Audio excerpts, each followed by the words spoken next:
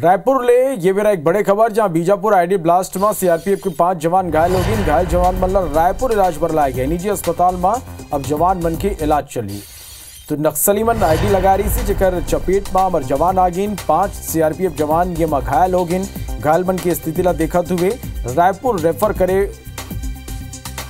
करेगी है, और एक निजी अस्पताल में ये मन के इलाज जारी है।